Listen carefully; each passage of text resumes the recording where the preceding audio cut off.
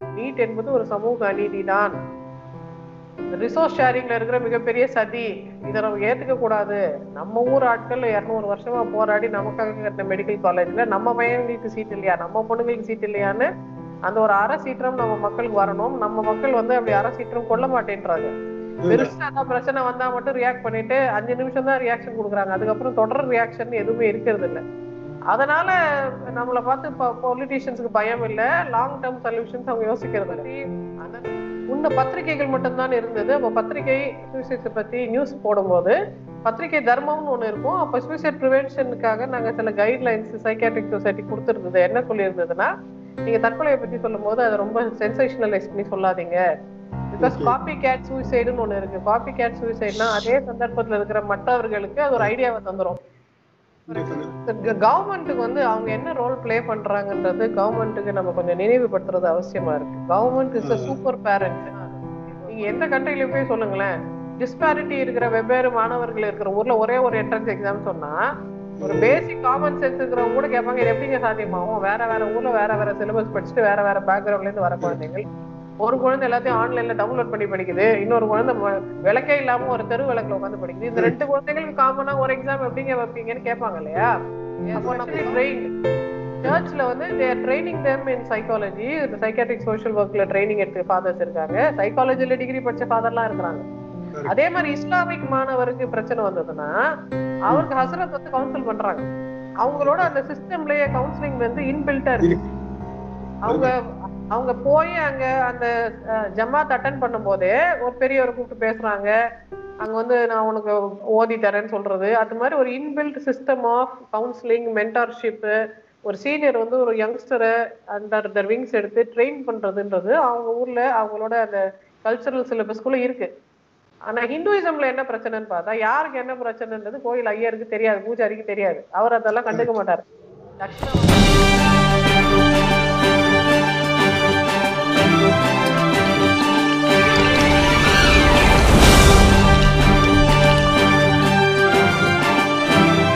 வணக்கம் நண்பர்களே. இன்றைக்கு நமக்கு சாக்கட் ஸ்டுடியோல ஒரு ஸ்பெஷல் கெஸ்ட் இணைந்து இருக்கிறார்கள்.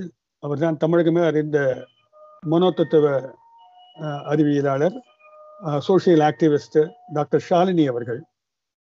இந்த தருணம் வந்து தமிழகத்துல மிகவும் மோசமான தருணமாக இருக்கிறது. அது குறித்தும் பிற சோக நிகழ்வுகள் நடப்பது குறித்தும் அவரோட பேசலாம்னு பார்க்குறோம். வணக்கம் மேடம். வருக. வணக்கம். வணக்கம்.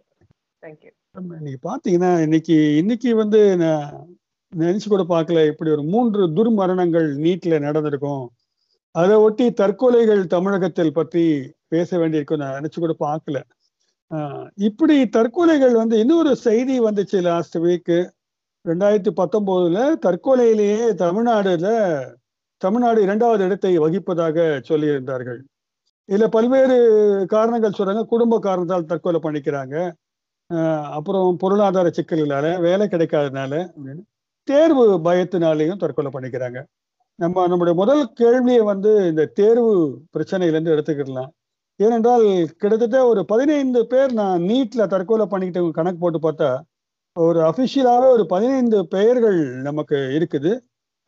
நேற்று இறந்து போன மாணவர்கள் உட்பட ஜோதி துர்காவாக இருக்கட்டும் ஆதித்யா விக்னேஷ் இவங்க எல்லாம் வந்து ரொம்ப இளம் மாணவர்கள். அவங்க அந்த அந்த ஜோதி துர்காவனுடைய வாய்ஸ் மெசேஜ் கேட்டிருப்பீங்க நீங்க. ரொம்ப சுகமா இருக்கு.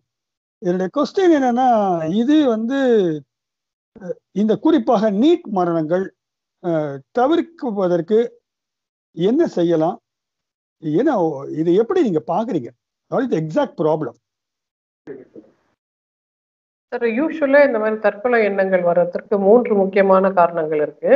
அஹ் சமுதாயத்தினால ஏற்படுற அழுத்தம் சமுதாயம் கொடுக்குற நம்பிக்கை இல்லை நம்பிக்கையின்மை. ஃபார் எக்ஸாம்பிள் அன்எம்ப்ளாய்மெண்ட்டு ரிசோர்சஸ் இருக்கா இல்லையா ஹோப் இருக்கா இல்லையான்றதெல்லாம் சமுதாயம் தான் நமக்கு கொடுக்குது இந்த விதமான ஒரு அணுகுமுறை எல்லாம். ரெண்டாவது தான் அவங்களுக்கு இருக்கிற பேரண்டிங்கு அவங்களுக்கு சொல்லிக் கொடுக்குற கோப்பிங் ஸ்கில்ஸ் மூணாவது அவங்களுக்கு இருக்கிற ஜெனட்டிக்ஸ் இப்போ இந்த மாதிரி சுச்சுவேஷன்ல ஒரு கொரோனா லாக்டவுன் பீரியட்ல குழந்தைகள் வந்து பெருசா டைரக்டா டீச்சர்ஸோட டைரக்ட் கான்டாக்ட் டைரக்ட் கோச்சிங் இல்லாத காலத்துல நம்ம நீட்டை பரீட்சையா நடத்தி இருந்திருக்கணுமா அப்படின்றதே நமக்கு பெரிய கேள்வி. ஏன்னா இந்த குழந்தைங்களை நம்ம நேரடியா மீட் பண்ணல கோச் பண்ணல மென்டர் பண்ணல இந்த குழந்தைகள் எவ்வளவு ப்ரிப்பேர்டா இருக்கிறாங்கன்றதை எந்த விதமான அசஸ்மெண்ட்டும் பண்ணாம அதெல்லாம் கிடையாது. நான் தேதி குறிச்சிட்டேன் நீங்க எல்லாம் பரீட்சை எழுததான் வேணும்னு சொல்றது வந்து ஒரு விதமான ஒரு இம்மெச்சூரான ஒரு டிஃபென்ஸா தான் எனக்கு தோணுது. இப்ப இந்த குழந்தைகள் பரீட்சைக்கு ரெடி ஆகும் பொழுது என்ன ஆகும்னா ரொம்ப நல்லா செய்யணும் நம்ம ஜெயிச்சே ஆகணும் நான் நிரூபிக்கணும் நான் யாருன்னு அப்படின்னு ஒரு பெரிய தன்னை பத்தி அபிப்பிராயம் இருக்கு குழந்தை. அப்போ இந்த சில்ட்ரனுக்கு கொஞ்சம் ஹை பர்ஃபார்மிங் சில்ட்ரன் தன்னை பத்தி உயர்வான கனவுகள் இருக்க குழந்தைகள். நம்ம ஜெயிச்சே ஆகணும். நம்ம ஆனா டாக்டர் ஆகணும் அப்படின்ற ஒரு தீர்மானத்துல இருக்க குழந்தைகள் ஒருவேளை ஆகாம போயிட்டா எனக்கு அவமானம் ஏற்படுமே சமுதாயம் என்னை மரியாதை குறைவா நடத்துருமே இத்தனை நாள் டாக்டர் பையன் டாக்டர் பொண்ணுன்னு சொல்லிட்டு இருந்தாங்க. ஐயோ நீ டாக்டர் ஆலையா அப்படின்னு என்னை விழிவாக நினைப்பார்களே. என் மீது வைத்திருக்கும் மரியாதை ரெண்டு டிகிரி குறைஞ்சிருமே. அதை எப்படி நான் தாங்குவேன்றதுதான் இந்த குழந்தைகளுக்கு மிகப்பெரிய அச்சம். இதற்கு இந்த மன வலியை தாங்கிப்பதற்கு நான் உயிரோட இல்லாம இருந்தா அட்லீஸ்ட் என்னை அவங்க கடைசியா எப்படி பார்த்தாங்களோ அந்த நினைவு தானே அவங்களுக்கு இருக்கும். நான் ஜெயிச்ச ஆளாவே அவங்க மனசுல உறுதியா இடம் பெறுகிறேன். தோத்துட்டேன்ற கெட்ட பேர் எனக்கு வேண்டான்ற மாதிரி இந்த குழந்தைகள் ரொம்ப சென்சிட்டிவா யோசிக்கிறாங்க. அதுதான் அவங்களுக்கு இந்த மாதிரி இயலாமை வரத்துக்கும் வாழ்க்கையை விரத்து வெறுத்து போறதுக்கும் காரணமா இருக்கு. மூன்றாவது இந்த குழந்தைகளோட பெற்றோர் உண்மையிலே இவங்களை வற்புறுத்தினாங்களா? அவங்கள வந்து படி படின்னு சொன்னாங்களா? அப்படின்னு ஒரு கேள்வி இருக்கு. யூஸ்வலி ரொம்ப ஹை பர்ஃபார்மிங் சில்ட்ரனுக்கு வந்து பெற்றோர் படிக்காதேன்னு சொன்னாலும் இந்த குழந்தைகள் படிச்சுட்டே தான் இருப்பாங்க. இல்ல இல்ல நான் அப்படிதான் செய்வேன். நான் டாக்டர் ஆகியே தீரணும். உங்களுக்கு தெரியாது இவ்வளவு இருக்கு படிக்கிறதுக்குன்னு சொல்லி இந்த குழந்தைகள் தன் மேலே அதிகமான சுமை எடுத்து வைத்துக்கிறதுக்கு வாய்ப்பு இருக்கிறதுனால இந்த சமயத்துல பெற்றோரை குறை சொல்வது இருக்கிறவங்களையும் நம்ம கஷ்டப்படுத்துற மாதிரி ஆயிடும்ன்றதுனால பெற்றோரை தயவு செய்து யாரும் குறை சொல்லக்கூடாதுன்னு நான் கேட்டுக்கிறேன். இந்த. பெற்றோர் இதுக்கு நேரடி காரணமா இல்லாம இருக்கிறது கூட சாத்தியக்கூறுகள் இருக்கின்றதுனால ஸ்பேர் த பேரண்ட்ஸ் ஓகே. இந்த இறந்த குழந்தைகள் நம்ம ரொம்ப அவங்களுக்காக வருத்தப்படுறோம். நம்ம லாங் டேர்ம் ஷார்ட் டேர்ம் நம்ம கிட்ட என்ன இருக்கு செய்யறதுக்கு சொசைட்டி கிட்ட என்ன கடமை இருக்கு செய்யறதுக்குன்னு எல்லா விதத்துலயும் நம்ம நம்ம கடமைகளை பிரிச்சு கரெக்டா செய்தோம்னா இந்த ப்ராப்ளம் கண்டிப்பா சால்வ் ஆகும். அப்போ இண்டிவிஜுவல் மனிதர்களா நமக்கு இருக்க பிரச்சனை என்னன்னா நம்ம குழந்தைகள் நீட் எழுதலைனாலும் நீட் என்பது ஒரு சமூக அநீதி தான். ரிசோர்ஸ் ஷேரிங்ல இருக்கிற மிகப்பெரிய சதி. இதை நம்ம ஏத்துக்க கூடாது. நம்ம ஊர் ஆட்கள் இருநூறு வருஷமா போராடி நமக்காக கட்டின மெடிக்கல் காலேஜ்ல நம்ம பையன்களுக்கு சீட் இல்லையா? நம்ம பொண்ணுங்களுக்கு சீட் இல்லையான்னு அந்த ஒரு அரை சீற்றம் நம்ம மக்களுக்கு வரணும். நம்ம மக்கள் வந்து அப்படி அரை சீற்றம் கொள்ள மாட்டேன்றாங்க. பெருசா ஏதாவது பிரச்சனை வந்தா மட்டும் ரியாக்ட் பண்ணிட்டு அஞ்சு நிமிஷம் தான் ரியாக்ஷன் கொடுக்குறாங்க. அதுக்கப்புறம் தொடர் ரியாக்ஷன் எதுவுமே இருக்கிறது இல்ல. அதனால நம்மளை பார்த்து இப்போ பொலிட்டீஷியன்ஸுக்கு பயம் இல்ல. லாங் டேர்ம் சொல்யூஷன்ஸ் அவங்க யோசிக்கிறது இல்ல. அந்தந்த சமயத்துக்கு சும்மா ஒரு சால்ஜாப்பு சொல்லி நம்ம சமாதானப்படுத்துறதுக்கு மட்டும்தான் அவங்க டெக்னிக்கா வச்சிருக்காங்க. இவங்க தொடர்ந்து ஞாபகம் வச்சுட்டு கேள்வி கேட்பாங்கன்னு நம்ம மேல அவங்களுக்கு எந்த விதமான அந்த மாதிரி ரெஸ்பான்சிபிலிட்டி டேக்கிங் இல்ல. அது ஏன் இல்லைன்னா நம்ம தான் அவங்கள ட்ரெயின் பண்ணாம வச்சிருக்கோம். நம்ம தான் அவங்களுக்கு ரொம்ப ஈஸி டார்கெட்ஸா இருக்கிறோம். நம்மள ஹேண்டில் பண்றது அவங்களுக்கு ஈஸியா இருக்கே தவிர நமக்கு அவங்கள ஹேண்டில் பண்ண இன்னும் தெரியல. So we have to learn நம்ம பொலிட்டீஷியன்ஸ் நம்ம நியமிச்ச பிரதிநிதிகள் நமக்கு இந்த வேலை செய்யறதுக்கு நம்ம வச்ச ஆளு.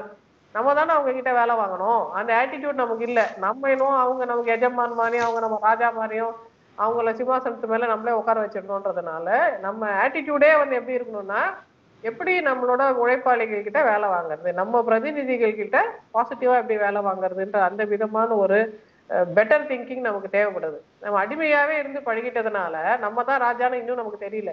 நம்ம இன்னும் அடிமை ரோலே ப்ளே பண்ணிட்டு இருக்கோம். நம்ம அடிமை கிடையாது. எல்லோரும் இந்நாட்டு மன்னர். அவங்க தான் நமக்கு ஊழியம் செய்யறதுக்காக இருக்க பப்ளிக் சர்வன்ஸ் நம்ம தான் அவங்கள வேலை வாங்கணும்ன்ற அந்த கான்செப்ட் நம்ம பொதுமக்கள் புரிஞ்சுக்கிறது ரொம்ப அவசியம். மூன்றாவது இந்த மாதிரி சூசைட் பத்தி முன்ன பத்திரிகைகள் மட்டும்தான் இருந்தது. அப்போ பத்திரிகை சூசைட்ஸை பத்தி நியூஸ் போடும்போது பத்திரிகை தர்மம்னு ஒண்ணு இருக்கும். அப்போ சூசைட் ப்ரிவென்ஷனுக்காக நாங்க சில கைட்லைன்ஸ் சைக்காட்ரிக் சொசைட்டி கொடுத்துருந்தது. என்ன சொல்லியிருந்ததுன்னா நீங்க தற்கொலையை பத்தி சொல்லும்போது அதை ரொம்ப சென்சேஷனலைஸ் பண்ணி சொல்லாதீங்க.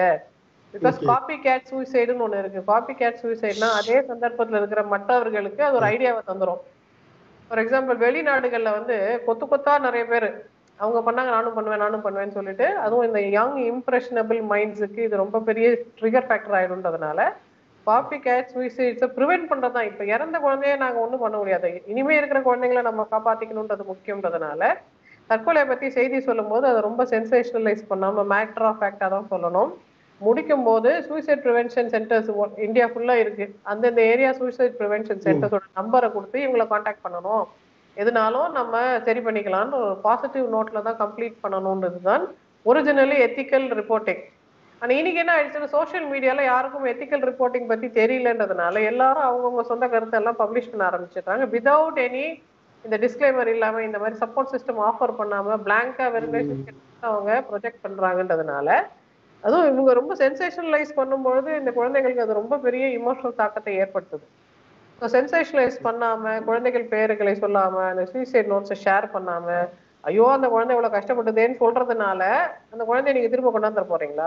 உங்க வழியை நீங்க ஷேர் பண்ணீங்க ஓகே உங்களோட வழி எங்களுக்கு புரியுது. பட் அதை விட பெரிய விஷயம் அடுத்த தற்கொலையை தடுப்பதுதான்றதுனால நம்ம கொஞ்சம் இந்த விஷயத்துல வயசா நடந்துக்கணுமே தவிர வெறும்னே இமோஷனாலிட்டியோட நம்ம இருந்துக்கிறது யூஸ்ஃபுல்லா இருக்காது. இது ரொம்ப அருமையா சொல்றீங்க நீங்க. உண்மைதான். இந்த கோணத்துல யாருமே யோசிச்சு பாக்குறது இல்லை ஃபேஸ்புக் திறந்தாக்கா அந்த குழந்தை பேசின பேச்சு அது வந்து it may motivate the other சொல் சொல்கிறது வந்து புரியுது எனக்கு. இதில் வந்து ஒரு புறம் சமூகத்தினுடைய பொறுப்பாக சொல்கிறீங்க ஆனால் நீங்கள் சொல்லும்போது பேரண்ட்ஸை வந்து குறை சொல்ல வேண்டாம் அப்படின்னு சொல்லும்பொழுது மொத்த பொறுப்பும் அரசின் மீது விழுவதாகத்தான் தெரிகிறது. அரசாங்கம் வந்து இதை ஸ்ஃபோமாக டீல் பண்ணியிருக்கணும்னு நாங்களாம் ஃபீல் பண்ணுறோம் அப்போ வந்து நம்ம ஒரு ப்ரொட்டஸ்ட் குறை எழுப்பும்போது இவங்களை பத்தி சொல்ல வேண்டிய கட்டாயம் வருது இல்லைங்களா? அது அப்படிதான் பதிவு பண்ண அறச்சீற்றமாகத்தான் அந்த பதிவு வருகிறது. ஆனால் அதுல வந்து சில பிழைகள் ஏற்படுகின்றன நீங்க சொல்றது போல நினைக்கிறேன். அப்போ கவர்மெண்ட் என்ன செய்யலாம் நினைக்கிறீங்க? கவர்மெண்ட்டுக்கு வந்து அவங்க என்ன ரோல் ப்ளே பண்றாங்கன்றது கவர்மெண்ட்டுக்கு நம்ம கொஞ்சம் நினைவுபடுத்துறது அவசியமா இருக்கு. Government is a. Super parent இப்போ மனிதர்களோட இந்த சோஷியல் ரோல்ஸ் ஒண்ணு இருக்கு இல்லையா? இப்போ குழந்தை இருக்கு. பேரண்ட் இருக்கு. பேரண்ட் அடுத்து சூப்பர் பேரண்ட்னு ஒரு ரோல் இருக்கு.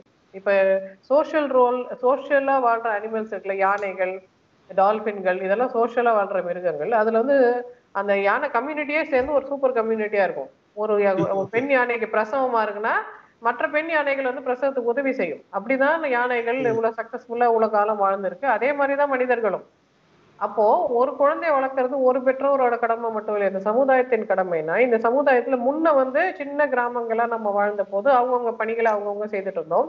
ஆனா இப்ப நம்ம ரொம்ப பெரிய ஜனத்தொகையில இருக்கிறோம்ன்றதுனால வேலையை நம்ம அவுட் சோர்ஸ் பண்றோம். அவுட் சோர்ஸ் பண்ணும்போது அட்மினிஸ்ட்ரேஷன் மேனேஜ்மெண்ட் ஜாப இந்த பாப்புலேஷன் அட்மினிஸ்ட்ரேஷன் பண்ற ஜாபை வந்து நம்ம பொலிட்டீஷியன்ஸுக்கு அவுட் சோர்ஸ் பண்ணியிருக்கோம் அவன பொலிட்டீஷியன்ஸ் ப்ளே பண்ற ரோல் அந்த யானையில இந்த மூதாதை யானை வந்து குட்டி யானைக்கு பிரசவம் பார்க்குதுல அந்த ரோல் தான் பொலிட்டீஷியன்ஸ் ப்ளே பண்றாங்க. அவங்க நமக்கு பேரண்ட் ரோல் தான் ப்ளே பண்றாங்க. நமக்கு நன்மை எதுன்னு நமக்கு எது இப்ப நெடுங்காலத்துக்கு நன்மைன்றதை யோசிச்சு அவங்க முடிவெடுத்தாதான் அவங்க ரோல் அவங்க கரெக்டா ப்ளே பண்ணதா அர்த்தம்.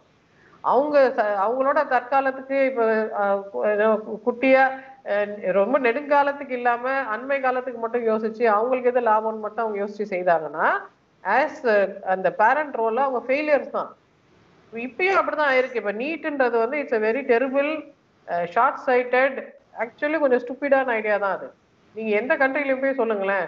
டிஸ்பாரிட்டி இருக்கிற வெவ்வேறு மாணவர்கள் இருக்கிற ஊர்ல ஒரே ஒரு என்ட்ரன்ஸ் எக்ஸாம் சொன்னா ஒரு. பேசிக் காமன் சென்ஸ் இருக்கிறவங்க கூட கேட்பாங்க இது எப்படிங்க சாத்தியமாகும்? வேற வேற ஊர்ல வேற வேற சிலபஸ் படிச்சுட்டு வேற வேற பேக்ரவுண்ட்ல இருந்து வர குழந்தைகள். ஒரு குழந்தை எல்லாத்தையும் ஆன்லைன்ல டவுன்லோட் பண்ணி படிக்குது. இன்னொரு குழந்தை விளக்கே இல்லாம ஒரு தெரு விளக்குல உட்காந்து படிக்குது. இந்த ரெண்டு குழந்தைகளுக்கு காமனா ஒரு எக்ஸாம் எப்படிங்க வைப்பீங்கன்னு கேட்பாங்க இல்லையா? அப்போ நம்ம கவர்மெண்ட் வந்து அம்பிஷியஸ் ப்ராஜெக்ட்ஸ் நிறைய வச்சிருக்கு. ஆனா அதுக்கு உண்டான கிராஸ் ரூட் டெவலப்மெண்ட்லாம் ஒண்ணும் பண்ணல. டெவலப்மெண்ட்டே பண்ணாம நான் வல்லரசு ஆயிட்டேன். அதனால நான் அமெரிக்கால இருக்கிற மாடலை கொண்டாடுவேன். கனடால இருக்கிற மாடல் கொண்டாடுவேன்னா கனடால இருக்கிற மாதிரி வாழ்க்கை தரம் இங்க இருக்கு. அதை முதல்ல இம்ப்ரூவ் பண்ணுங்க. அதுக்கு ஒரு ஐம்பது வருஷம் நீங்க இம்ப்ரூவ் பண்ணாதான் அதுக்கப்புறம் வர வேண்டிய கனவை நீங்க ஏன் அவசரமா முன்னாடியே கொண்டாந்தீங்க? ஸ்டெப் பை ஸ்டெப் போனோம் அகலக்கால் வச்சா இப்படிதான் பிரச்சனை வரும்ன்றது தான் இப்ப ரொம்ப நமக்கு தெரியிற ஒரு ரிட்ரோஸ்பெக்டிவா நமக்கு கிடைக்கிற விஸ்டமா இருக்கு. ஸோ இனிமேலாவது இந்த மூணு வருஷம் நாலு வருஷம் விடாப்பிடியா நான் நினைச்சதை சாதிப்பேன். ஐடியா பண்ணிட்டேன்னு ஐடியா பண்ணது தான் இந்த தேதினா இந்த தேதி தான்னு பிடிவாதம் பிடிக்கிறது இந்த கவர்மெண்ட்டுக்கு ஒரு நல்ல பேரண்டிங் ஸ்டைல் கிடையாது. பேரண்டிங்னா நீங்க ஃபீட்பேக் எடுத்துக்கணும். நாங்க கொடுக்குறோம் உங்களுக்கு ஃபீட்பேக் அதை கூட நீங்க காதுல வாங்கலைன்னா அப்ப யாருக்கு உண்டான கவர்மெண்ட் நீங்க? இந்த கொரோனா பீரியட்ல நீங்க இந்த பேண்டமிக் டைம்ல எக்ஸாம் வச்சதே தப்பு. இந்த குழந்தைங்களை யாரும் ஒரு தடவை கூட பார்க்கல மானிட்டர் பண்ணல. இந்த குழந்தைங்க என்ன மாதிரி சுச்சுவேஷன்ல இருக்கிறாங்கன்னு கூட நமக்கு தெரியாது. நீங்க பாட்டு ஒரு டேட் அனௌன்ஸ் பண்ணி எல்லாரும் வந்து எக்ஸாம் எழுதுங்கன்னு சொன்னோம். இது தான் தோன்றித்தனம் தானே நான் செய்தா நான் நினைச்சதை நான் செய்வேன்னு ஒரு டிக்டேட்டர்ஷிப் மாடாலிட்டில எல்லாம் இது போகுது.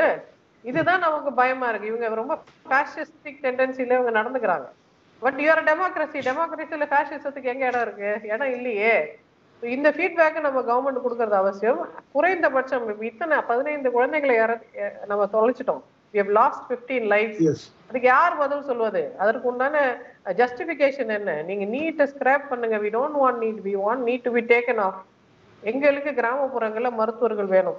நான் வந்து சிட்டில இருக்கிற ஒரு ரொம்ப பாப்புலரான காலேஜ்ல படிச்ச ஸ்டூடெண்ட்ஸ் சார் எங்க காலேஜ்ல வந்து ரொம்ப மெரிட்டோரியஸ் ஸ்டூடெண்ட்ஸ் ஃப்ரம் வில்லேஜஸ் வந்திருந்தாங்க. ரொம்ப பணக்கார வீட்டு குழந்தைங்களும் வந்திருந்தாங்க. சிட்டில இருக்கிற பெஸ்ட் காலேஜஸோட ஓனர்ஸோட பசங்க என் கிளாஸ்மேட்ஸ் ஓகே சிட்டில இருக்கிற ரொம்ப எஸ்டாப்ளிஷ் டாக்டர்ஸோட குழந்தைகள் என்னோட கிளாஸ்மேட்ஸ் ஆனா ஹவுஸ் அர்ஜென்சி பீரியட்ல யார் ஒழுங்கா வேலை செய்தா?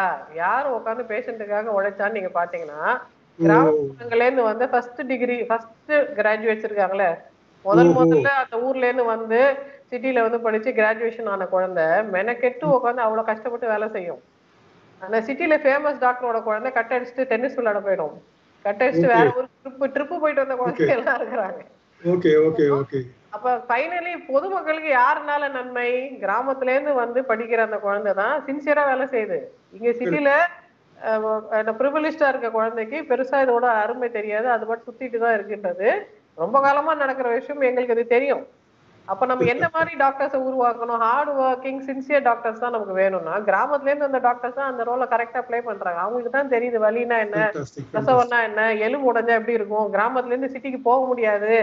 நம்ம முதல் உதவி கத்துக்கணும் அப்படின்னு சொல்லி நீங்க டாக்டர்ஸ்லயே பாத்தீங்கன்னா கிராமத்துல இருந்து வர டாக்டர்ஸ்லாம் அவங்களே விருப்பப்பட்டு எல்லா சப்ஜெக்ட்லயும் எக்ஸ்ட்ரா ட்ரைனிங் எடுத்துப்பாங்க. எங்க ஊர்ல Okay. டெர்மட்டாலஜில நான் கொஞ்சம் டெர்மட்டாலஜில எக்ஸ்ட்ரா போஸ்டிங் எடுத்துக்கிறேன். எங்க ஊர்ல இந்த பர்டிகுலர் டாக்டர் இல்ல அது நான் கொஞ்சம் ரெண்டு மாசம் எக்ஸ்ட்ரா கத்துக்கிறேன்னு சொல்லிட்டு ஆக்சுவலா அவங்க அவங்களே வாலண்டியர் பண்ணி நிறைய விஷயங்கள் எக்ஸ்ட்ரா கத்துக்கிறாங்க.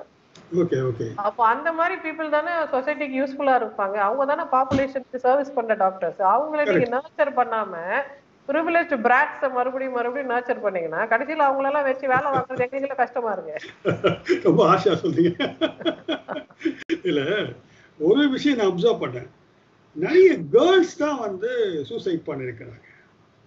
பாய்ஸோட அதை நான் கொச்சையாயிடக்கூடாது ஆனா கேர்ள்ஸ் இப்போ இதை ஃபேஸ் பண்ண முடியாத அளவுக்கு இருக்காங்களா?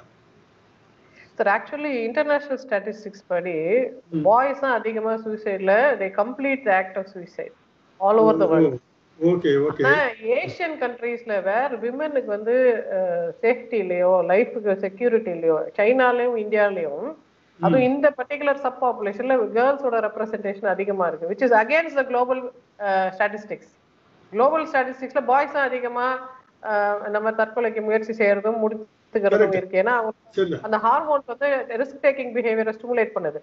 ஆனா சைனாலையும் இந்தியாலையும் இந்த மாதிரி நீட் இந்த பர்டிகுலர் சப் குரூப்ல மட்டும் பாத்தீங்கன்னா பெண் குழந்தைகள் அதிகமாக தற்கொலை செய்து கொள்கிறார்கள்னா பெண் குழந்தைகளுக்கு தான் வாழ்க்கையில ஜெயிக்கிறோம் போராடணும்ன்ற ஒரு தேவை இங்க இருக்கு.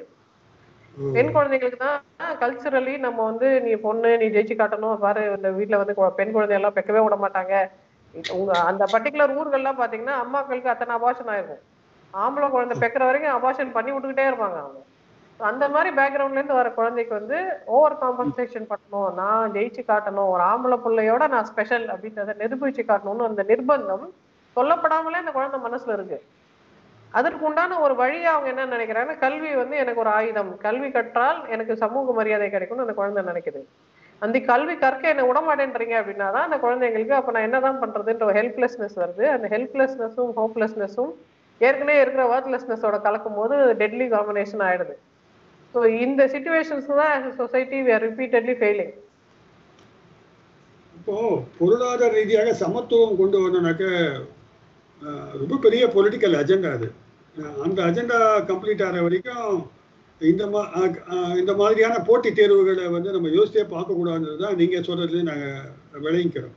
ஆமா. ஆனால் பொதுவாக பார்க்கும்போது என்னன்னாக்க டவுன் ரோடன் கிராமத்தில் இருக்கவங்க இந்த மாதிரி நீட் தற்கொலைகள் நீட் பிரச்சனைகளை பார்த்துட்டு இனிமே வந்து பயத்தினாலேயே இவங்க வந்து டிராப் அவுட் ஆயிடுவாங்கன்ற மாதிரி ஒரு ஃபீலிங் இருக்கு. ஏன்னா சில மாணவரோட பேசும்போது அது நமக்கானது அல்ல நமக்கு அது ஒத்து வராது அப்படின்னு வந்து இவங்களை விரட்டி விட்டுறா போல இருக்குது. அப்படி அந்த சூழ்நிலையை நம்ம எப்படி தவிர்ப்பது? அரசு வந்து எப்படி தவிர்க்க முடியும்? கான்ஃபிடன்ஸ் கொடுக்க முடியும்? நீட் ஆஸ்பிரன்ஸோட எண்ணிக்கை நீங்க பாத்தீங்கன்னாவே அந்த டிராப் ஆக ஆரம்பிச்சிருச்சு. மெடிக்கல் காலேஜ்ல சேரணும்ன்ற கனவு கூட நிறைய பேர் காண மாட்டேன்றாங்க. இதெல்லாம் எதுக்கு நமக்கு? நம்ம குழந்தை உயிரோட இருந்தா போதும். அப்படின்னு ஆட்டிடியூட் வந்துருச்சு. அண்ட் இன்னொரு விஷயம் கொரோனா கிரைசிஸ்ல டாக்டர்ஸ் இத்தனை பேர் இறக்கும் பொழுது பப்ளிக் என்ன நினைக்கிறாங்கன்னா என் குழந்தை எதுக்கு டாக்டர் ஆகி அது உயிரை தியாகம் பண்ணணும்? ஒன்றும் தேவையில்லை. இந்த மாதிரி நோய்கள்லாம் வருதாமே? வேண்டாம் வேண்டாம் நம்ம வளர்றா வேண்டாம்னு பெற்றோர் இப்ப குழந்தைங்களை பாதுகாக்கிற மனப்பான்மைக்கு வர ஆரம்பிச்சிட்டாங்க. அதனாலதான் இந்த வருஷம் ஆக்சுவலி நீட்டோட ஆஸ்பிரன்ஸோட நம்பர்ஸ் குறைஞ்சிருக்கு. பட் ஆக்சுவலி லாங் டேர்ம் நீங்க பாத்தீங்கன்னா இந்த கொரோனாவை இந்த வருஷம் அடுத்த வருஷம் நம்ம பீட் பண்ணிடுவோம். அதுக்கு வேக்சின் கண்டுபிடிச்சிருவோம்னு வச்சுக்கோங்களேன். அதுக்கப்புறம் எந்த சொசைட்டி நல்லா இருக்குமோ எந்த சொசைட்டில doctor patient relation doctor patient ratio கரெக்டா இருக்கும். ஆப்டிமல் டாக்டர் பேஷண்ட் ரேஷியோ இருக்கு. ஆயிரம் ஆயிரம் நபர்களுக்கு இத்தனை டாக்டர் இருக்கணும்ன்றது உலகத்துல ஒரு ஒரு தரம் நிர்ணயிக்கப்பட்டிருக்கு. அந்த தரத்துக்குள்ள நம்ம ஃபிட்டின் ஆனாதான் நம்ம ஜெயிக்க முடியும். பிற்காலத்திலயாவது நம்ம வல்லரசு நாடு ஆக முடியும்ன்றதுனால டெஃபினெட்லி நம்ம டாக்டர்ஸோட எண்ணிக்கை அதிகப்படுத்தணும். ஆனா டாக்டர்ஸோட எண்ணிக்கை அதிகப்படுத்தணும்னா மெடிக்கல் ஃபீல்டு வந்து இட்ஸ் வெரி ஸ்பெஷல் சார் ஏன்னா ஃபார் எக்ஸாம்பிள் வெளிநாட்டுல இருக்கிற நிறைய தமிழர்கள் வந்து அங்க இருக்கிற அவங்க கனடால இருப்பாங்க ஆஸ்திரேலியால இருப்பாங்க இங்கிலாந்துல இருப்பாங்க வெரி டெவலப்டு நேஷன்ஸ்ல இருப்பாங்க. அங்க இருக்க டாக்டர் அவங்க பார்க்க மாட்டாங்க. அவங்க ஊர்ல இருக்கிற அவங்க அம்மாவுக்கு பிரசவம் பார்த்த டாக்டர் இல்ல இப்ப இப்ப சைக்கேட்ரினா எங்களை மாதிரி தமிழ் பேசுற சைக்கேட்ரிஸ் அவங்க மெனக்கெட் தேடி ஸ்பெஷல் அப்பாயின்மெண்ட் வாங்கி ஆன்லைன்லயாவது பார்க்க ட்ரை பண்றாங்க. ஏன்னா உங்களுக்கு தான் புரியும் எங்க பிரச்சனை என்ன? நீங்க தான் எங்க பாஷை பேசுறீங்க? அப்படின்றது ஒண்ணு. நம்ம அவங்க கிட்ட போய் நம்ம பிரச்சனைகள் எப்படி சொல்றது? அப்படின்ற தயக்கம் எல்லாருக்குமே இருக்கு. இது வந்து இப்ப சைக்கேட்ரினா பேசுறது அதனால ஒண்ணும் பிரச்சனை இல்லை. ஃபார் எக்ஸாம்பிள் வேற ஏதாவது ஹெல்த் இஷ்யூஸ் இருக்குன்னு வச்சுக்கோங்களேன். ஒரு ரீப்ரொடக்டிவ் இஷ்யூ இருக்கு. ஒரு உமனுக்கு ஏதாவது ஒரு ஸ்பெஷல் நீட் இருக்குன்னா ஒரு வெள்ளைக்கார டாக்டர் கிட்ட போய் பார்க்கறதுக்கு அவங்க தயக்கமா இருக்கு. ஒரு இந்திக்கார டாக்டர் கிட்ட போய் பார்க்கறதுக்கு தயக்கமா இருக்கு. அவங்க தேடி பிடிச்சி இப்ப அரேபியால இருக்கிறவங்க கூட எங்க தமிழ் பேசுற டாக்டர் இருக்காங்கன்னு தேடி பிடிச்சி அவங்கள மாதிரியே இருக்க டாக்டர் கிட்ட போய் அவங்க ட்ரீட்மெண்ட் எடுத்துக்கிறாங்க. அப்போ இப்ப இப்ப என்ன மாதிரியே இருக்கிற எங்க ஊரு டாக்டர் அப்படின்னா அவங்க ஈஸியா போய் பார்ப்பாங்க. அவங்களோட லோக்கல் பிஹெச்சில ஆரம்ப சுகாதார நிலையத்துல இருக்க டாக்டர் அவங்கள மாதிரியே இருக்கிறாங்க. தே கேன் ஐடென்டிஃபை வித் டாக்டர்னா டாக்டர் எனக்கு இங்க வலிக்குது அப்படின்னு அவங்க அந்த பாடி பார்த்து அந்த டாக்டர் கிட்ட எக்ஸ்போஸ் பண்றதுக்கு கூச்சப்படுறது இல்ல ஆனா அந்த டாக்டர் வந்து ஒரு வெளியூருக்கார டாக்டர் அவர் வந்து தெலுங்கு பேசுற டாக்டர் இல்லைன்னா அவர் வந்து ஒரு நார்த் இந்தியன் டாக்டர்னு வச்சுக்கோங்களேன்.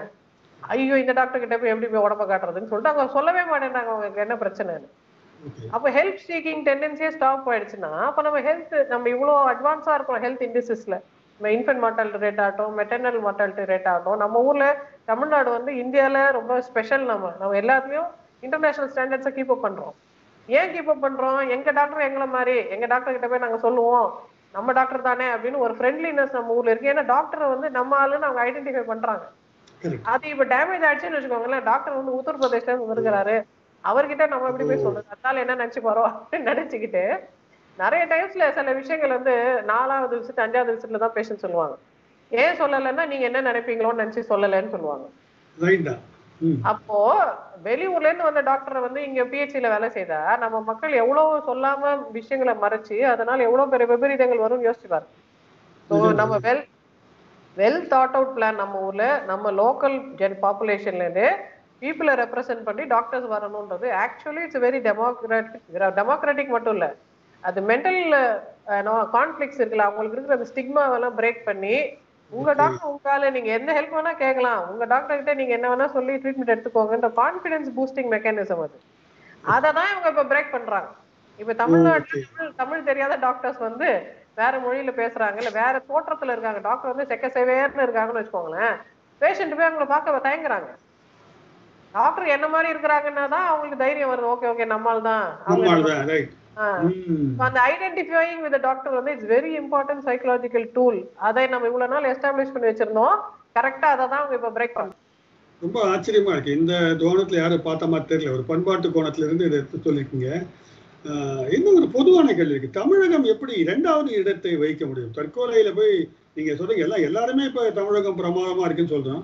ஆனா தற்கொலையிலே அது இரண்டாவது இடத்துல இருக்குதுன்றது வினோதமாக இருக்கிறது. இது ஏன் இங்கே மட்டும் இப்படி நடக்கிறது? ரெண்டு ரீசன்ஸ் இருக்கு. நம்ம கரெக்டா ரிப்போர்ட் பண்றோம். சூசைட. சூசைடாவே நம்ம ரிப்போர்ட் பண்றதுனால ஆக்சுவல் ஸ்டாட்டிஸ்டிக்ஸ் நமக்கு இருக்கு. மத்த நம்ம ஊர்கள் வந்து சூசைட வந்து வேற ஏதாவது ரிப்போர்ட் பண்ணிட்டாங்கன்னு வச்சுக்கோங்களேன். நமக்கு எப்படி தெரியும்? பாம்பு கடிச்சு செத்து போயிட்டான்னு சொன்னா அந்த ஊர்ல பாம்பு கடி காமன்னா பாம்பு கடிச்சு தான் செத்து போயிட்டாங்கன்னு நினைப்பாங்க. நம்ம ஊர்ல பாம்பே இல்ல. பாம்பு கடிச்சு செத்து போயிட்டான்னு சொல்றதுக்கு வாய்ப்பு இல்ல. ஏன்னா நம்ம எல்லாருமே செமி அர்பன் சிட்டிஸ்ல இருக்கிறோம் இந்த ஊர்ல எப்படிங்க பாம்பு வந்துச்சு? லாஜிக்கலாவே இல்லையே நம்ம கேட்கறதுக்கு வாய்ப்பு இருக்குன்றதுனால இங்க ஃபேக்சுவல் ரிப்போர்ட்டிங் நடக்குது. இங்க டெத் சர்டிபிகேட் ப்ரொடியூஸ் பண்ற டாக்டர் கரெக்டான உண்மையை சொல்றாங்க. அதனால நமக்கு ரியல் ட்ரூத் தெரியுது முதல் விஷயம். ரியல் ட்ரூத் தெரிஞ்சா அப்ப அப்பதான் நமக்கு தெரியும் இந்தியால வேற எங்கெங்கெல்லாம் சூசைட் ரேட்ஸ் ரொம்ப அதிகமா இருக்கு அப்படின்னு. அண்ட் இப்போ நமக்கு இருக்கிற இஷ்யூ என்னன்னா நம்ம யங்ஸ்டர்ஸ் ரொம்ப ரொம்ப வல்னரபுளா இருக்கிறாங்க. நம்ம விமனும் ரொம்ப ஃப்ரெஜைலா வல்னரபிளா இருக்கிறாங்க. ஒரு வீட்ல ஒரு தகராறு கணவன் வந்து வெளியில உறவு வச்சிருக்காரு அந்த உமன் வந்து அந்த ஹஸ்பண்டை பனிஷ் பண்றதுக்காக தன் குழந்தைகளை கஷ்டப்படுத்துறது தயங்குறது இல்ல அந்த மேன் உமன் ரிலேஷன்ஷிப்ல நம்ம ஊர்ல நிறைய விரிசல் இருக்கு. நம்ம விமனுக்கு நிறைய எக்ஸ்பெக்டேஷன் இருக்கு. அந்த காலம் மாதிரி நான் பொறுத்து போவேன்லாம் பெண்கள் நினைக்கிறது இல்ல பெண்களுக்கு வந்து என்ன நீ ஒழுங்கா நடத்தலைன்னா நான் இப்படி செய்வேன் அப்படின்னு ஒரு ஒரு ஆக்ஷன் எடுக்கிற ஒரு கான்செப்டுக்குள்ள பெண்கள் வந்துட்டாங்க. But this action is not the best action actually இன்னும் கொஞ்சம் அடுத்த லெவல் ஆஃப் சஃபஸ்டிகேஷன் நம்ம போனோம் நம்ம டிரான்சிஷன்ல இருக்கோம். ஸோ அதனால நம்ம இனிமே இந்த ஏரியாஸ்லாம் வீக்னஸ் நம்ம ஐடென்டிஃபை பண்ணி அடுத்த சில ஆண்டுகள்ல நம்ம இதுக்காக கொஞ்சம் முனைப்போட செயல்பட வேண்டியது இருக்கலாம். இது எனக்கு ஒரு கேள்வி இருக்கு. நான் நான் ஒரு டேட்டா எடுத்து பார்க்கும்போது ஐம்பத்தி நாலு சதவிகிதம் தூக்கு போட்டு இறந்துருக்காங்க. இருபத்தி ஆறு சதவிகிதம் விஷம் கொடுத்து இறங்கியிருந்திருக்காங்க தீக்குளிச்சு ஒரு ஒரு த்ரீ பாயிண்ட் எயிட் பர்சன்ட் போயிருக்காங்க. ஃபைவ் பாயிண்ட் டூ வந்து தண்ணியில் மூழ்கி இறந்துருக்காங்க. இந்த ஐம்பத்தி நாலு சதவீதம் தூக்கில் இறக்குறாங்கன்னும் போது இது இது இது ஒரு கல்ச்சுரலா ஃபாலோ பண்ணிட்டு வராங்களா இந்த மெத்தடாலஜியை வந்து இவங்க எப்படி அடாப்ட் பண்றாங்க? ஏன் வந்து இவ்வளவு கொடுமையான ஒரு மெத்த தீ குளிக்கிறதும் தீ தூக்கம் வந்து ரொம்ப பெயின்ஃபுல்லா இருக்கும் நான் நம்புறேன். அது அதை அதுக்கு அந்த சாய்ஸ் அவங்க சூஸ் பண்றதுக்கு என்ன என்ன ரீசன் இருக்கும் நினைக்கிறீங்க? சார் நான் ஏற்கனவே சொன்ன மாதிரி சூசைட் வந்து ரொம்ப பார்த்து கத்துக்கிற ஒரு விஷயம். ஏன்னா நீங்க ஆஸ் யூ. மென்ஷன் ஒரு ஆர்டினரி பர்சனுக்கு வந்து எப்படி தூக்கு சுருக்கு எப்படி போடணும் தெரியாது. ஏன்னா அது சாதாரணமா போடுறது இல்ல. அது யாரோ போட்டு இவங்களுக்கு தெரிஞ்சாதான் அவங்க கத்துப்பாங்க. ஆக்சிடென்டலா நோபடி கேன் டிஸ்கவர் தட் இந்த நாட் வந்து கொஞ்சம் ஸ்பெஷல் நாட் சாதாரணமான சுருக்கு வந்து அது இழுக்காது. இந்த ஊர்ல யாராவது போட்டிருக்காங்கன்னா இவங்களும் போட்டுருவாங்க. அதை பத்தி பேச்சு வருது. அந்த ஊர்ல அது காமனா நடந்துட்டு இருக்குன்னா அப்ப அந்த ஊர்ல மட்டும் சூசைடோட ரேட் அதிகமா இருக்கிறது நம்ம. அதனாலதான் நம்ம காப்பி கேட் சூசைடை ப்ரிவென்ட் பண்ணுவோம் ப்ரிவென்ட் பண்ணுவோம்னு ஆரம்பத்துல இருந்து சொல்லிட்டு இருக்கோம். ஓகே ஓகே ஏன்னா சூசைடாலிட்டியே ஒரு லேர்ன்ட் பிஹேவியர் தான். அது சோஷியலி பரவுற விஷயம். ஓகே ஓகே ஓகே ஊர்ல எல்லாம் நீங்க பாருங்களேன் இவ அரளி வேறதாச்சு குச்சி செத்து போயிட்டாளான்னா ஆமா, அடுத்த. தலைமுறையில அரளி விதை ஃபேமஸ் ஆயிட்டே வரும். சரி சரி சரி சரி. இல்ல அதுதான். ஏன்னா இப்போ வந்து ஏன்னா இப்போ நிறைய வளர்ந்து வந்துட்டோம்னு சொல்லும்போது இன்னும் கூட இப்படி ஒரு இறப்புகள் இருப்பதை தவிர்க்க வேண்டும். நான் நினைச்சேன் ஒருவேளை ஸ்ட்ரெஸ் அதிகமாக கிரியேட் ஆயிட்டு இருக்கு கன்வென்ஷனலாக திங்க் பண்ணி பார்க்கும்போது குடும்ப சிக்கல்கள் அதிகமாயிட்டு இருக்கு வறுமை எக்கனாமிக்ஸ் வேற பிரச்சனைகள். அஹ், அப்படின்னு தான் நினைச்சேன். ஆனா ஒரு நீங்க விஷயம் என்னன்னா எனக்கு என்ன தோணுதுன்னா நம்ம மீடியா வந்து they should be even more psychologically tuned media. முன்ன வந்து நம்ம தமிழ் சினிமா எல்லாம் பாத்தீங்கன்னா தற்கொலை பண்ணாங்கன்னா பாய்சன் எழுதிருக்கும் அந்த மருந்து மேல. அது என்ன பாய்சன் யாருக்குமே தெரியாது. இப்போ வந்து டெலி எக்ஸ்பிளிசிட்டா சொல்றாங்க. இது இத்தனை மருந்து போட்டு இப்படி பண்ணாங்களாம். இது இப்படி பண்ணாங்களாம் ட்ரமடைஸ் பண்ணி டைட் க்ளோஸ் அப் வச்சு லாங் ஷாட் வச்சு அப்படி. மாத்தி மாத்தி அவங்க அதை அது விகாரப்படுத்தி காட்டும் பொழுது எல்லார் வீட்லயும் டெஃபினெட்லி எல்லா காலகட்டத்திலயும் மனித உறவுகள் சிரமமானவைதான். எந்த காலத்திலுமே அது ரொம்ப பர்ஃபெக்டா நேச்சுரலி வெல் டியூன்டா இருந்ததே கிடையாது. நம்ம திரும்ப ரிப்பீட்டடா ஒர்க் பண்ணி ஒர்க் பண்ணி டியூன் பண்றதுதான் மனித உறவுகள். ஆனா இப்போ இன்ஃபர்மேஷன் இருக்கு நமக்கு. ரொம்ப ஈஸியா இன்ஃபர்மேஷன் கிடைக்குது. இப்ப கூகுள் மாதிரி ரொம்ப ரெஸ்பான்சிபிள் சென்டர்ஸ் எல்லாம் என்ன பண்றாங்கன்னா கூகுள்ல போய் ஹவு டு கமிட் சூசைட்னு போட்டா இமீடியட்லி அவங்க வந்து நீங்க சூசைட் ப்ரிவென்ஷன் செல் கால் பண்ணுங்க. உங்க ஏரியாவோட சூசைட் ப்ரிவென்ஷன் நம்பர் இதுன்னு அவங்க உடனே ரெஸ்பாண்ட் பண்றாங்க. அப்படியெல்லாம் அவங்க டியூன் ஆயிருக்காங்க. ஆனா நம்ம அந்த அளவுக்கு டியூன் ஆகல பாருங்க. நம்ம international standards of health care கொடுக்கறது இல்ல. நம்ம அப்படியே மானாவாரியா எப்படி எல்லாம் இன்ஃபர்மேஷன் நம்மளே பேசிக்கிறோம். டெலி சீரியல்ல சொல்லி சொல்லி காட்டுறோம்னா this is something that we must prevent இப்போ டெலி சீரியல்ஸ்க்குலாம் சென்சார் இல்லை. அவங்க பாட்டு நீங்க பாத்தீங்கன்னா இருக்கிறதுலே கொடூரமான காட்சிகள்ல இல்ல, அவங்க தான். இருக்கிறாங்க உண்மைதான் உண்மைதான். இல்ல எனக்கு அதான் நினைச்ச ஒருவேளை கவுன்சிலிங் சென்டர்ஸ் காலேஜஸ் ஸ்டூடெண்ட்ஸ்க்கு வந்து இப்ப coming back to students issue வரும்போது மோர் கவுன்சிலிங் ரெக்குவயர்மெண்ட் இருக்குதோன்னு தோணுது எனக்கு. அந்த அதுக்கு ஏதாவது ஒரு ஸ்ட்ரக்சரலா பண்றதுக்கு வாய்ப்பு இருக்கா? டெஃபினெட்லி சார் இப்போ இந்தியால இருக்கிற நம்ம திரும்ப திரும்ப ஹிந்து ஹிந்துத்துவான்னு ரொம்ப பெருமையா பேசிக்கிட்டாலும் இந்து மதத்துல ஒரு பெரிய குறை இருக்கு. இப்ப கிறிஸ்டியன் பையனுக்கு சூசைடல் மென்டாலிட்டி வந்ததுன்னா சர்ச் ஃபாதர் வந்து பாஸ்டரல் கவுன்சிலிங் பண்றாங்க. தே ஆர் ஸ்பெஷலி ட்ரெயின்ட் சர்ச்ல வந்து they are training them in psychology psychiatric social ஒர்க்ல ட்ரைனிங் எடுத்து ஃபாதர்ஸ் இருக்காங்க. சைக்காலஜில டிகிரி படிச்ச ஃபாதர்லாம் இருக்கிறாங்க. அதே மாதிரி இஸ்லாமிக் மாணவருக்கு பிரச்சனை வந்ததுன்னா அவருக்கு ஹசரத் வந்து கவுன்சில் பண்றாங்க. அவங்களோட அந்த சிஸ்டம்லயே கவுன்சிலிங் வந்து இன்பில்ட்டா இருக்கு. அவங்க அவங்க போய் அங்க அந்த ஜமாத் அட்டன் பண்ணும்போதே ஒரு பெரியவரை கூப்பிட்டு பேசுறாங்க. அங்க வந்து நான் உனக்கு ஓதி தரேன்னு சொல்றது. அது மாதிரி ஒரு inbuilt system of counselling mentorship ஒரு சீனியர் வந்து ஒரு யங்ஸ்டரை அண்டர் தர் விங்ஸ் எடுத்து ட்ரெயின் பண்றதுன்றது அவங்க ஊர்ல அவங்களோட அந்த கல்ச்சரல் சிலபஸ்குள்ள இருக்கு.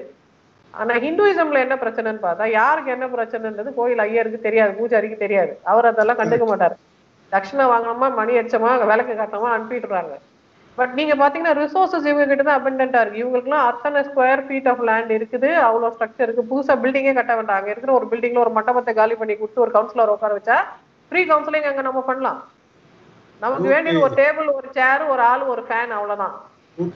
ஸ்ட்ரக்சர் இருக்கு நம்ம கிட்ட ஆனா அப்படி ஒரு பீப்புள் சென்ட்ரிக்கா நம்ம யோசிக்கிறது இல்ல. நம்ம காட் சென்ட்ரிக்கா கடவுளுக்கு என்ன நெய்வேத்தியம் பண்ணா நமக்கு சொர்க்கம் கிடைக்கும் தான் நம்ம யோசிக்கிறோமே தவிர என் பிரச்சனையை ஸ்லோகத்தினால சொன்னாலாம் கடவுள் சரி பண்ண மாட்டாரு. அங்க ஒரு ஆள் உட்காந்து நம்ம ஆற்றுப்படுத்தல் பண்ணணும். அதுக்கு ஒரு ஆளை நம்ம நியமிப்பு இவ்வளவு காசு நம்ம எதுக்கோ வேஸ்ட் பண்றோம். ஒரு கவுன்சிலர் அப்பாயிண்ட் பண்றதுக்கு எவ்வளவு காசு ஆயிட போகுது? ஒரு டேபிள் சேர் அது- மதத்துல அதுக்கான ஸ்கோப் கிடையாது. ஏன்னா இறைவனுக்கு எல்லாம் தெரியும். அதனால வந்து நீங்க வந்து நீங்க நடுவுல மீடியேட்டரா கவுன்சிலிங் பண்றதுக்கு அங்க ஸ்கோப் இருக்கான்னு தெரியல எனக்கு. ஐ டோன்ட் திங்க் ஸோ இது வந்து this is this is a process that can enable better mental health even physical health இந்த சூசைட்ஸ் எல்லாம் ப்ரிவென்ட் பண்ணணும். ஏன்னா இவங்க எல்லாருமே பக்தர்கள் தான். இவங்க எல்லாம் கோயிலுக்கு போறாங்க. கடவுளே காப்பாத்து போய் விளக்குல இருக்கிற திரியில இருக்கிற அந்த கறியை எடுத்து அவங்க செவுத்துல போய் மார்க் நம்பர்லாம் எழுதி தான் வராங்க. கடவுள். அவங்களை பொறுத்த வரைக்கும் ஒரு கேர் கிவர் ஆனா அந்த கேர் கிவர் வந்து பேச மாட்டாரு எழுத மாட்டாரு வந்து காப்பாத்த மாட்டாரு. கேர் கிவர் பேரை சொல்லி நீங்க சம்பாதிக்க தெரிஞ்ச உங்களுக்கு கேர் கிவர் பேரை சொல்லி ஏன் காப்பாத்த தெரியல? அருமை அருமை அருமை. கரெக்ட் இப்போ இ- இப்போ வந்து இனி ஃபியூச்சரில் சாதாரண மக்கள் என்ன செய்யலாம்னு நினைக்கிறீங்க? State failed miserably I don't know அது வந்து வெற்றி அடையுமானே தெரியல. அவங்க நீங்கள் சொன்ன மாதிரி எலெக்ஷன் ப்ராஜெண்டா ப்ராஜெக்ட்னு போயிட்டு இருக்கிற ஸ்டேட்டில் சிவில் சொசைட்டியினுடைய ரோல் என்னவா இருக்கும்? இருக்கலாம். நம்ம ஊர்ல வந்து முன்ன நம்ம நம்ம அப்டேட் ஆக வேண்டிய விஷயம் என்னன்னா we are not slaves in a democratic country நாம தான் இந்நாட்டு மன்னர் மன் நீங்க மன்னர் நான் மன்னி. அவ்வளவுதான். You are the king I am the queen we all are kings and queens நம்ம வேலையை நம்ம செய்யறதுக்கு நமக்கு அவகாசம் இல்லைன்றதுனால அட்மினிஸ்ட்ரேஷனை நம்ம பொலிட்டீஷியன்ஸ் கிட்ட அவுட் சோர்ஸ் பண்ணியிருக்கோம். அவங்க நமக்கு சேவை தான் செய்யறாங்க அவங்க நமக்கு எஜமானர் கிடையாது. அவங்க வேலையை அவங்க ஒழுங்கா செய்யறாங்களான்றது நம்ம எல்லாருமே கலெக்டிவா சூப்பர்வைஸ் பண்ணணும். அப்பதான் அவங்க வேலையை கரெக்டா செய்வாங்க. முன்ன இருந்த சூழ்நிலை என்னன்னா நம்ம கவர்மெண்ட் ஆஃபீஸ்ல போய் டெய்லி செக் பண்ண முடியாது. எங்க அந்த ஃபைல நீங்களாலாம் கேட்க முடியாது. ஏன்னா நமக்கு அதுக்காக ஊர்ல இருந்து கிளம்பி கிராமத்துல இருந்து வந்து சிட்டிக்கு வந்து அதை போய் பார்க்கணும்னா சிரமமா இருந்தது. இப்போ எல்லாமே ஆன்லைன்ல நடக்குதுன்றதுனால நம்ம ஆன்லைன்ல கூட பெட்டிஷன் பண்ணலாம் ஆன்லைன்ல கூட கேள்விகள் கேட்கலாம்ன்றதுனால இன்னைக்கு we have come to that state where we can actually monitor கவர்னன்ஸை public participate பண்ண முடியும்.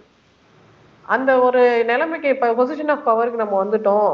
தனிப்பட்ட மனிதர்களா ராமன் ஆண்டால் என்ன ராவணன் ஆண்டால் என்னன்னு நம்ம இருக்கிறது தப்பு. அதனாலதான் இவ்வளவு பெரிய சொதப்பல் நடந்தது. நம்ம நியமித்த கவர்மெண்ட் ஒழுங்கா வேலை செய்தா இல்லையான்றது நம்ம தான் ஃபீட்பேக் கொடுக்கணும். நம்ம தான் திரும்ப அப்ஜெக்ஷன்ஸ் ரைஸ் பண்ணணும். கரெக்ஷன் வர வரைக்கும் நம்ம பர்சிஸ்டண்டா பர்சிவரண்டா கன்சிஸ்டண்டா கொஸ்டின் கேட்டுட்டே இருக்கணுன்றது எல்லா சிவிலியன்ஸ்க்கும் இருக்கிற ஒரு ஒரு டியூட்டி அது. அந்த டியூட்டில நம்ம ஃபெயில் ஆறோம்ல. நம்ம கேள்வியே கேட்க மாட்டேன்றோம். கட்சியில எலெக்ஷன் அப்ப மட்டும் ஓட்டு போடுறதுக்கு காசு வாங்கிட்டு வேற ஓட்டு போடுறோம்னா நம்ம கேள்வி கேட்கிற அருகதையை நம்மளே இழக்கிறோம் இல்லையா? பப்ளிக் வந்து இப்படி கரப்டா இருக்கிறத நிறுத்திட்டு நான் காசெல்லாம் உனக்கு கொடுக்க நீ காசு எனக்கு வேண்டாம் நானும் உனக்கு காசு கொடுக்கல. வேலையை முதல்ல ஒழுங்கா செய்ப்பா அப்படின்னு சொல்லி வேலை வாங்குறதுக்கு உண்டான கெட்டிக்காரத்தனத்தை நம்ம இனிமேலாவது பில்ட் பண்ணணும். சிம்பிளி ஒரு சம்பவம் நடக்கும்போது மட்டும் பேசிட்டு அதுக்கப்புறம் மறந்துடுறதுனால லாங் டேர்ம் ரிசல்ட்ஸ் நமக்கு வராது. இந்த பிரச்சனையே வருது. அந்த கனெக்டே கரெக்டா இல்ல. அந்த ஒரு ஒரு லிங்க்கும் நம்ம மிஸ் பண்ணிக்கிட்டே வரோன்றதுனால இப்போ லிங்க் எல்லாத்தையும் கரெக்ட் ரவுண்டு கட்டே கரெக்ட் பண்ணணும்னா அவங்க நமக்கு வேலை செய்யறதுக்காக நம்ம நியமிக்கிற ஆட்கள் நம்ம தான் அவங்கள வேலை வாங்கணும். அவங்க தவறு செய்யும்போது நம்ம தான் சுட்டி காட்டணும். அவங்க நம்மளை தண்டிக்க கூடாது நம்ம தான் அவங்கள தண்டிக்கணும். அவங்க நம்ம காசு கொடுக்க கூடாது. நம்மளும் அவங்க கிட்ட இருந்து காசு வாங்க கூடாது. நம்ம கிட்ட வேலை செய்யறவங்க நம்ம காசு கொடுத்தா இப்ப நான் ஒரு வேலைக்கு ஒரு ஆளை வைக்கிறேன். அம்மா நான் அஞ்சாயிரம் ரூபாய் தரேன். நீங்க எனக்கு வேலை கொடுங்கன்னு கேட்டா நான் என்ன சொல்லுவேன்? நீ என்ன எனக்கு காசு தர? நான் தானே உன்னையே வேலை கேட்கறேன் நீ வந்து லஞ்சம் கொடுத்து என்கிட்ட இருந்து வேலை வாங்குறேன்னா அப்ப உனக்கு திறமை இல்லைன்னு அர்த்தம் அப்படித்தானே நான் சொல்லுவேன். அந்த ஆங்கிள் இருந்து நம்ம தான் பாஸ் அப்படின்ற ஒரு சென்ஸ் ஆஃப் பவருக்கு பப்ளிக் வரும்போது தான் உரிமையா கேள்வி கேட்க அவங்களுக்கு தெரியும். நமக்கு அந்த கான்செப்ட் இன்னும் எழுபத்தி மூணு எழுபத்தி நாலு வருஷம் ஆனாலும் நமக்கு அந்த கான்செப்ட் வரல. ஏன்னா நம்ம ஸ்லேவரியிலே இருந்து இருந்து பழகுனதுனால how to be a good பாஸ்ன்றது நமக்கு தெரியல. எனிஹாவ் ஓரளவுக்கு எல்லா விஷயமே நம்ம டிஸ்கஸ் பண்ணியிருக்கோம். இது வந்து ஒரு நியூ அண்டர்ஸ்டாண்டிங் கொடுக்கறதுக்கான கூறுகள் எல்லாம் நீங்கள் சொல்லியிருக்கீங்க. கண்டிப்பாக இளம் தலைமுறையினர் வந்து இனி வரும் காலங்களில் வேற ஆல்டர்னேட்டிவ் இருக்கு அப்படின்னு யோசித்தா கூட ஓரளவு தப்பிக்க முடியும்னு நினைக்கிறேன். இது தெரிந்தது இவங்க தான் தெரியாமல் நிறைய பேர் தினமும் இறந்துக்கிட்டு இருக்காங்க. இம்மாதிரியான ஒரு காணொளி வந்து ஓரளவுக்கு உதவியாக இருக்கும் இதை பார்ப்பவங்களுக்கு நினைக்கிறேன். உங்கள் நேரத்தை ஒதுக்கியதுக்கு மிக்க நன்றி madam. Thank you so much thank you madam